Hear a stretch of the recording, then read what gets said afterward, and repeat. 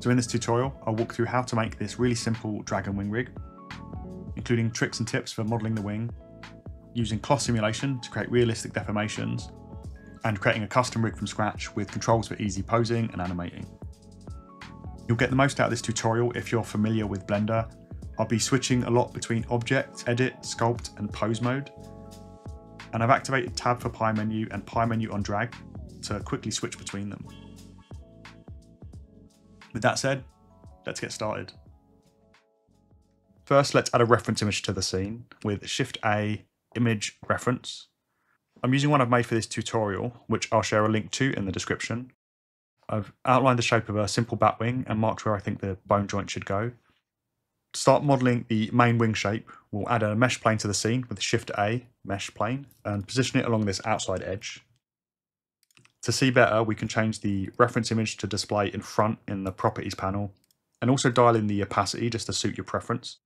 I'll switch into Edit mode, and we can start extruding the edges of the plane and moving the vertices around to start tracing the silhouette of the wing.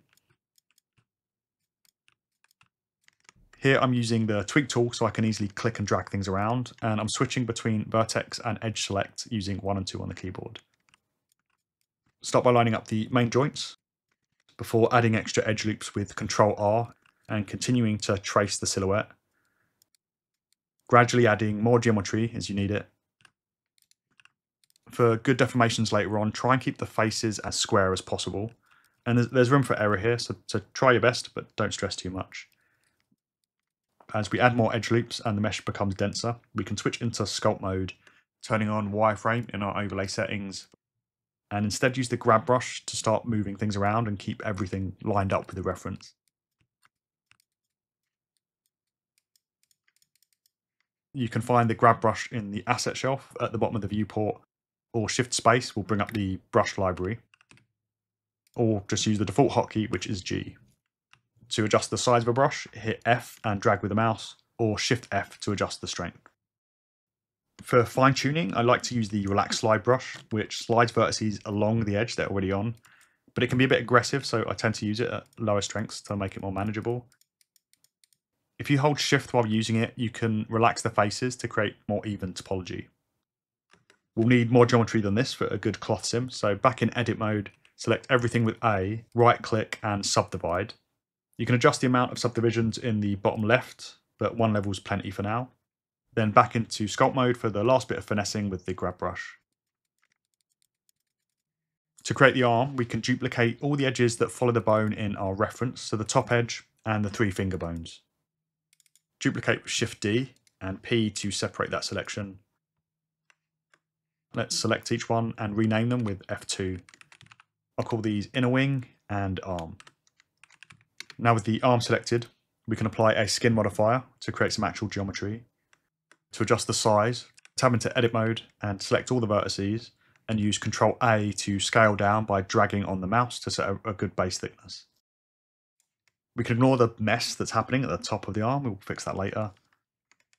Next I want to taper each finger down to a point, so I'll select all the end vertices and activate proportional editing set to connected only. Playing with the influence by scrolling on the mouse wheel will give more or less of a taper. And I'll use the same technique to add volume around the finger joints, the arm and the shoulder. To round off the shoulder, I'll extrude out an extra vertex and scale that down with a really low influence. Now we're ready to fix the issue we're seeing at the top of the hand. To do that, we can switch into X-ray mode and look for any unnecessary vertices that are causing that crowding there are a bunch here left over from the extra faces we added to the wing mesh. So select all of those and hit X and dissolve the vertices to remove them. To fix the weird intersections, I find the best approach is just to find the closest vertex that a problem and drag it around until the mesh corrects itself. We can't always get this perfect, so the aim is to create the easiest topology to clean up. Now we can apply the skin modifier to create real geometry to work with. I'll remove this extra set of faces by merging the vertices either side with M, merge at center, and then Shift R just to repeat the last operation. To make any final adjustments, I find top view works best with X-ray mode enabled to make sure I'm selecting the vertices on both sides of the mesh. Once everything is lined up, we'll add more geometry with a subdivision modifier and one level of subdivision. We can apply that to permanently create new faces. Then add another subdivision modifier on top that will keep in the modifier stack. And we can get rid of this banding by going to Object and Shading Smooth. To create a more organic and irregular look to the model, we can jump back into sculpt mode and use the inflate brush to add the last bit of definition to the, the arm. Here I'm just adding volume in places that I think make sense.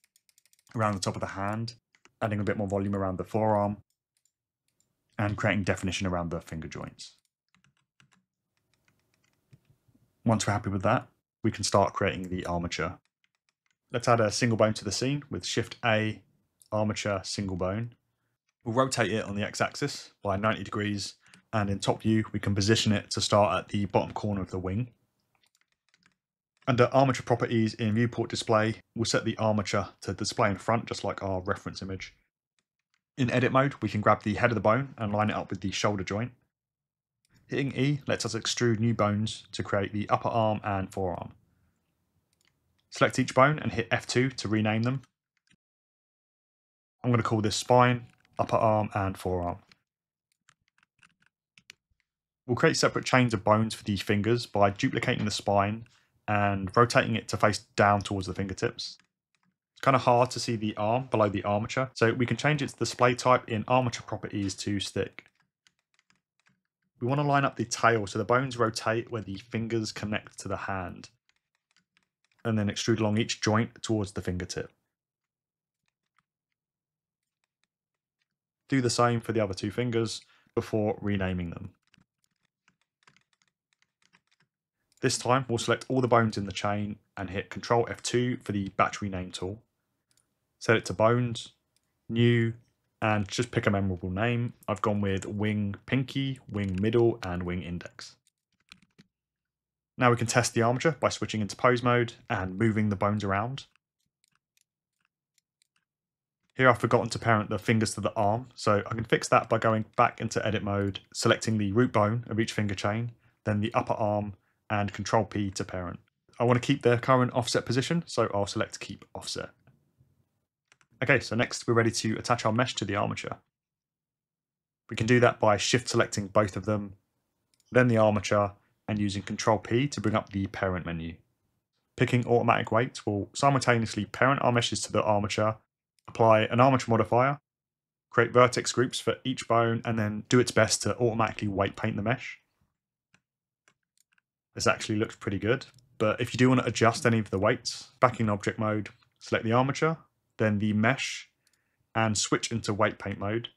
Now if you shift control click a bone, that will make it active, and you can go in and manually weight paint the influence.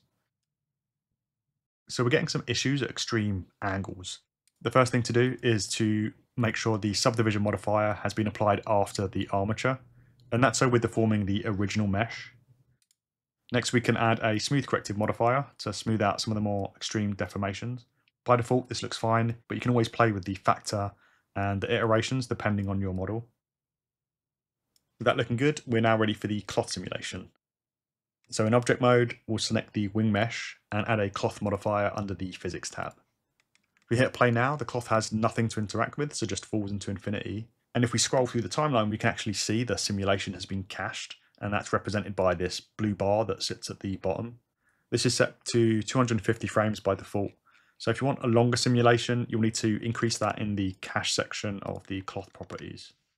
To keep it attached to the armature as it moves, we need to create a pin group. So in edit mode, select all the edges that follow our main arm bones and create a new vertex group in the data tab of the properties panel and assign all of the selected vertices. Back in the cloth properties, we can scroll down to the shape section and under pin group, select the new vertex group we just created. Because the same vertices in our pin group have also been weighted to the armature, if we hit play and move it in pose mode, our cloth follows the rig as it moves. It's quite low poly, so let's fix that by adding a subdivision modifier. We can reset the bone rotations in pose mode with Control R, and the simulation cache by going to frame 1. We can fix the rounded corners by selecting all the edges along the bones in edit mode and setting that edge crease to 1. Then back to object mode to apply smooth shading from the object menu.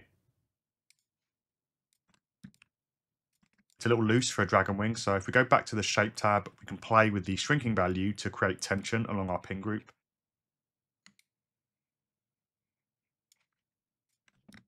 And now we're feeling a lot more realistic. Right now, we've technically rigged a wing, but it's super fiddly to adjust each bone individually. So let's add some controls to make it easier to pose.